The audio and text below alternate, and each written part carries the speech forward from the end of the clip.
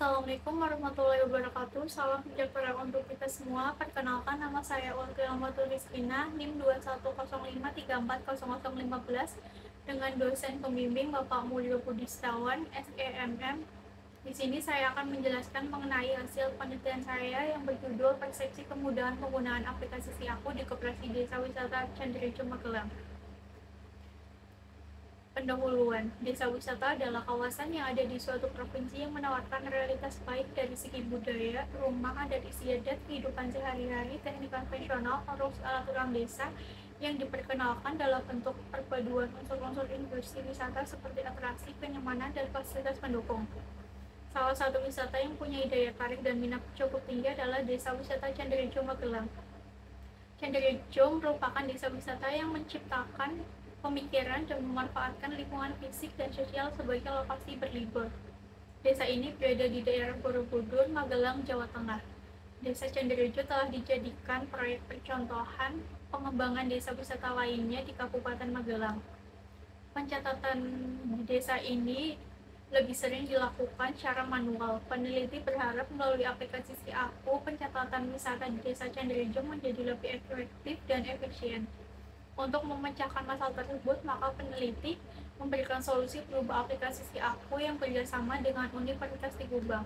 Aplikasi Sistem Informasi Administrasi Keuangan atau Si Aku digunakan untuk penginputan transaksi-transaksi keuangan yang nantinya dapat mempermudah perhitungan pada akhir transaksi. Selain, selain itu, aplikasi Saku ini mempunyai banyak manfaat seperti penginputan jenis-jenis paket wisata, macam-macam persewaan, dan retail. Rumusan masalah Berdasarkan latar belakang yang telah diuraikan, terdapat beberapa rumusan masalah sebagai berikut. Yang pertama, apakah dalam penggunaan aplikasi sudah digunakan atau diaplikasikan sesuai dengan kebutuhan koperasi desa wisata Candirejo? Yang kedua, bagaimana kemudahan yang dirasakan oleh karyawan koperasi desa wisata Candirejo setelah adanya aplikasi Si Aku? Dan yang ketiga, apakah ada manfaat yang diterima oleh koperasi desa wisata Candirejo setelah adanya aplikasi Si Aku ini? Tujuan dan manfaat penelitian. Yang pertama tujuan untuk mengetahui tingkat kemudahan yang dirasakan oleh karyawan koperasi Desa Wisata Candirejo pada aplikasi Si Aku. Yang kedua, untuk mengetahui manfaat yang dirasakan desa wisata setelah adanya aplikasi Si Aku. Yang ketiga, untuk mengetahui kesesuaian aplikasi terhadap kebutuhan desa wisata. Dan untuk manfaatnya adalah memberikan memberikan manfaat bagaimana cara penggunaan aplikasi Si Aku dan perbedaan antara sebelum dan sesudah aplikasi ini digunakan.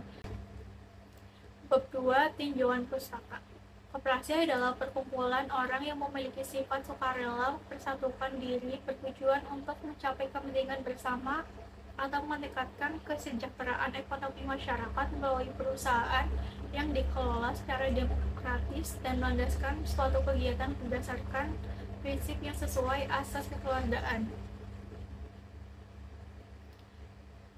Si Aku adalah jenis aplikasi keuangan yang digunakan untuk menginput transaksi-transaksi keuangan guna mempermudah dalam perhitungan pada akhir transaksi. Selain itu, aplikasi Si Aku ini mempunyai banyak manfaat seperti penginputan jenis-jenis paket wisata, masa-masa persewaan, dan yang terakhir adalah retail. Persepsi merupakan salah satu sektor yang mempunyai sikap atau perilaku perubahan-perubahan pada diri seseorang dapat diketahui melalui persepsi. Cara umum, persepsi dapat diartikan sebagai pengalaman yang dirasakan melalui indera penglihatan, pendengaran, penciuman, dan sebagainya. Persepsi kemudahan yaitu sejauh mana seseorang percaya bahwa teknologi akan bebas dari usaha.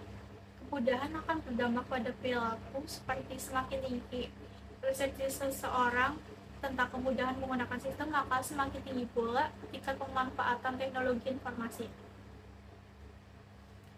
Bab 3 dalam metode penelitian. Dalam penelitian ini, peneliti menggunakan metode analisis data secara deskriptif kuantitatif. Menurut Sugiono, analisis penelitian deskriptif kuantitatif merupakan analisis data dengan cara mendeskripsikan atau menggambarkan data yang telah terkumpul sebagaimana adanya tanpa bermaksud membuat kesimpulan yang berlaku untuk umum dan generalisasi. Dalam penelitian ini, analisis data yang digunakan adalah dengan menggunakan angket kuesioner atau Google Form yang dibagikan kepada karyawan Koperasi Desa Wisata Candirejo untuk mengetahui persepsi kemudahan penggunaan aplikasi Siaku di Koperasi Desa Wisata Candirejo Magelang. Selanjutnya adalah pembahasan. Objek penelitian yang dilakukan oleh peneliti dilakukan di Koperasi Desa Wisata, Desa Wisata Candirejo atau lebih tepatnya di desa yang beralamat di Jalan Raya Candirejo, Sangen, Kecamatan Borobudur, Kabupaten Magelang, Jawa Tengah. Uji validitas Menurut Gozali, uji validitas dilakukan untuk mengetahui sejauh mana pengukur atau kuesioner layak untuk mengukur apa yang diinginkan. Suatu kuesioner dikatakan valid jika pernyataan pada kuesioner mampu mengungkapkan sesuatu yang diukur oleh kuesioner tersebut. Pengujian validitas dalam penelitian ini dilakukan dengan menggunakan nilai korrelat item item yaitu dengan melihat total korrelat item yang diperoleh dari tiap-tiap pernyataan. Jika nilai R hitung yang diperoleh lebih besar dari L tabel dan nilainya positif, maka butir-butir pernyataan tersebut dikarenakan valid. Uji validitas dalam penelitian ini menggunakan bantuan program SPSS versi 26 dengan sampel yang digunakan sebesar 30 responden. Semua pernyataan yang diuji validitas menunjukkan nilai yang valid karena memiliki nilai signifikasi yang lebih kecil dari 0,05. Maka disimpulkan bahwa semua pernyataan yang ada di uji validitas dianggap valid. Yang kedua adalah uji reliabilitas. Reliabilitas adalah alat yang mengukur suatu kuesioner yang merupakan indikator dari variabel Uji reliabilitas adalah tingkat kestabilan suatu alat pengukur dalam mengukur suatu gejala atau kejadian. Semakin tinggi reliabilitas suatu alat pengukur, semakin stabil pula alat pengukur tersebut. Reliabilitas instrumen penelitian ini diuji dengan menggunakan koefisien Cronbet alpha, suatu variabel yang dikatakan reliable apabila jika hasil alpha Cronbet lebih besar dari 0,70 menurut Gozali. Dari tabel di atas disimpulkan bahwa nilai nilai tingkat reliabilitas untuk semua variabel adalah lebih besar dari 0,70 sehingga indikator atau kuesioner tersebut dinyatakan reliable sebagai alat ukur variabel data. Yang ketiga adalah UGF. UGF digunakan untuk mengetahui apakah variabel independen secara bersama-sama atau join mempengaruhi variabel dependen. UGF dalam penelitian ini menggunakan tingkat signifikasi atau tingkat kepercayaan sebesar 0,05.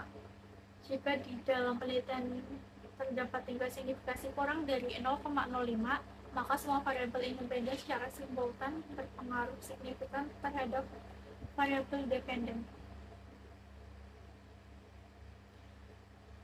Dari hasil tabel di atas,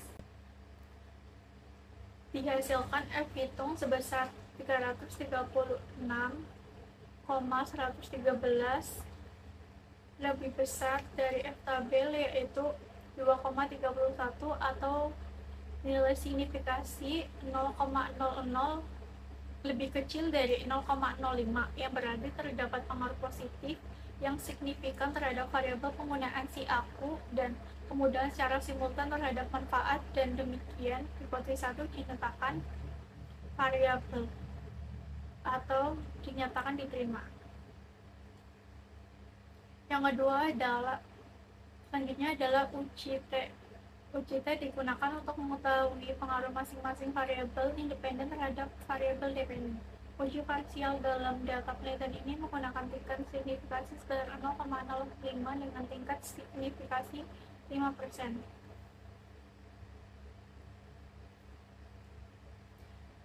Berdasarkan tabel di atas diperoleh terhitung sebesar 24,795 dengan tingkat signifikasi sebesar 0,00 lebih kecil dari 0,05 atau T hitung lebih besar dari tabel yaitu 1,985 sehingga HO ditolak dan HA diterima. Hal ini menunjukkan bahwa variabel kombinasi aku secara parsial berpengaruh positif dan signifikan. Yang kedua, berdasarkan tabel di atas, diperoleh T hitung sebesar 5,60 bukit dengan tingkat signifikasi sebesar 0,00 lebih kecil dari 0,05 atau T hitung lebih besar dari T tabel yaitu 1,985 sehingga O ditolak dan A diterima.